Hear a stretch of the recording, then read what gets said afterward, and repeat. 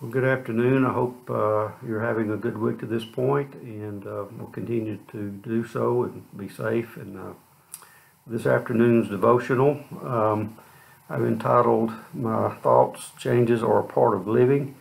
And I'm going to read from Jeremiah chapter 29, verse 11 to start it off. And it says, For I know the plans I have for you, declares the Lord plans to prosper you and not to harm you, plans to give you hope and a future. Do you ever stop to think about the changes that you have witnessed during your lifetime? I dare say that no area of your life has not been changed or has not been affected by change. A change for the better, a change for the worse, a change for the sake of change. Do I resist change or do I embrace it? Do I initiate change and can change motivate me and inspire me? I guess you might say that change may start when you take your first, first breath. You no longer need the oxygen supplied through the umbilical cord of your mother. You are now your own person, waiting for all of life to come and experience. Physical maturity ushers in many changes throughout all phases. Your baby, in a blink of an eye, is now a young child. Another blink, a young adult. Still another, a parent, a grandparent, maybe an aunt or an uncle.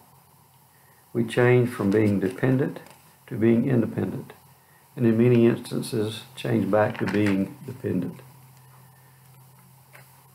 During this life journey, we see the need to be prepared for our next adventure.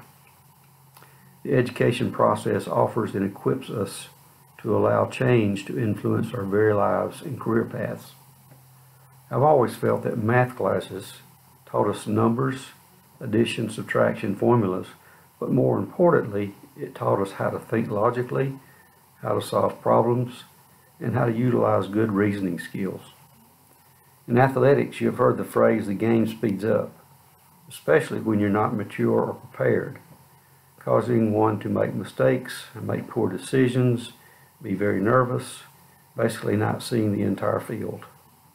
But when preparation and maturity are in place, the game slows down, looking as if it is in slow motion. You can become locked in, make good decisions and choices. The game becomes easy.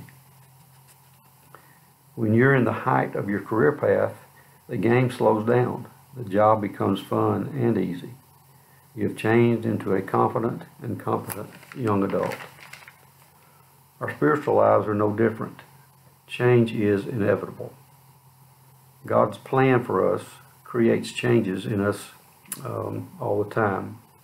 It changes um, a desire, it causes us for, to have a desire to come to know Him and follow Him through our service to His people, our fellow man.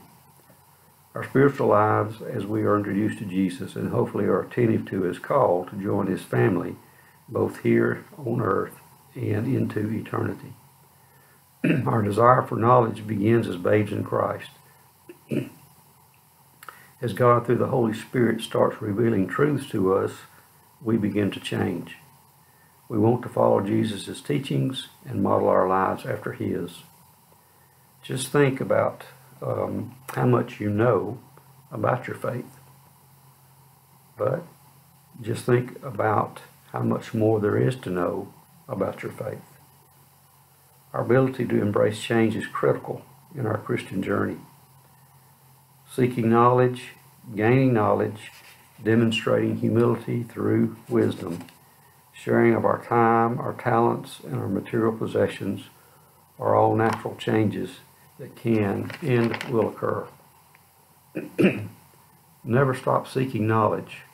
Never assume that God doesn't have more, much more, to teach us all about His love and His peace that passes all understanding. I sometimes start thinking that life is going too fast, that the world is spiraling out of control.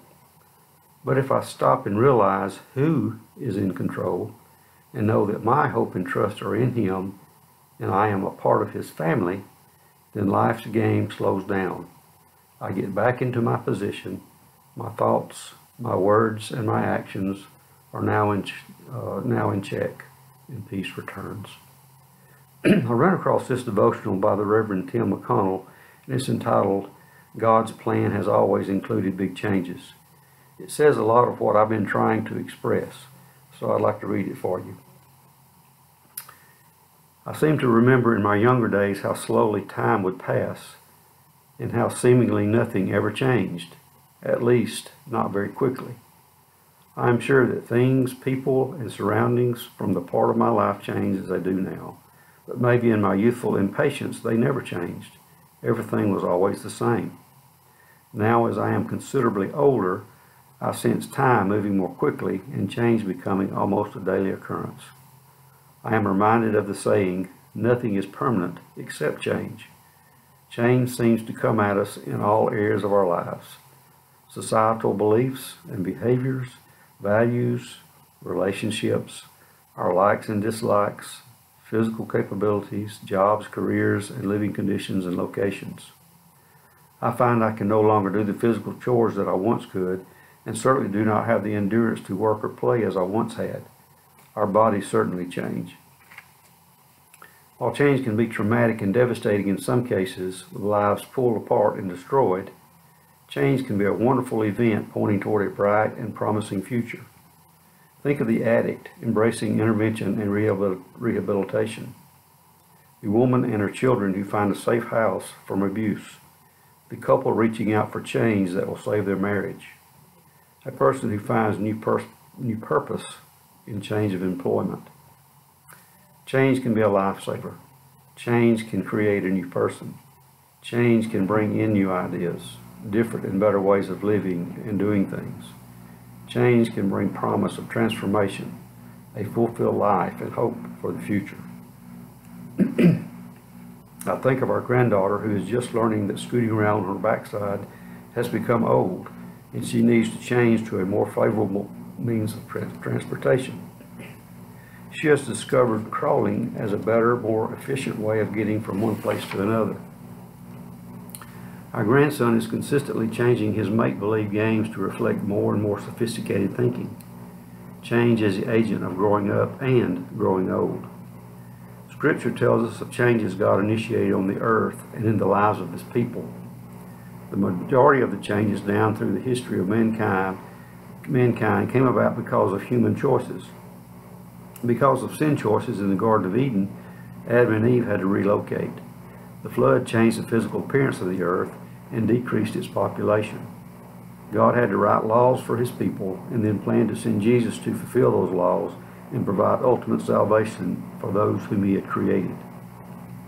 God knew that the hearts of the people whom he had created in his own image had changed, and he had to provide a way to change them back into a relationship with him. So God sent his son Jesus to turn things upside down so that things would once again be right side up. God intended for the Old Testament laws to be written on the hearts of his people instead of on tablets of stone. That the new way of salvation would be through two commandments. Love God with everything that you have, and love your neighbor just like you love yourself. Jesus recommended a change in lifestyle for his disciples when he called them from the fishing boats to, to discipleship. There was a change in the words of Jesus when he told Nicodemus, You must be born again. Jesus offered change to a rich young ruler, the woman caught in adultery, and the woman at the well. The incarnation, ministry, death, and resurrection of Jesus are all about change. Change from thinking and living for earthly accomplishments to embracing eternal ambitions.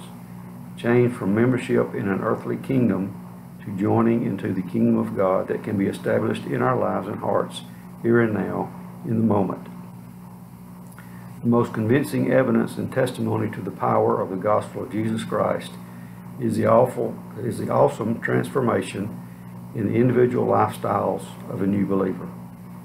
and what is so amazing about God-given change in our lives is that if we allow transform transformation to continue, we can experience what Paul writes about in 2 Corinthians 3.18. We are changed into the same image of Christ from glory to glory, even as by the Spirit of the Lord. So the question is asked, are we actively seeking permanent change that will bring us into an intimate relationship with Jesus? As we are being transformed as a congregation uh, here at our church. My prayer is that God's plan will be imprinted on all of our hearts so that His will can and will be done. Let's pray. Father God, we thank you for our time together this evening. We thank you for the inspiration of your words. We thank you for the confidence that we have in you and your word and understanding that change comes and change is good. We just pray as we go through changes in our lives that we will continue to look to you for that source of strength and guidance and understand that your good will can be accomplished. These things we ask in Christ's name. Amen.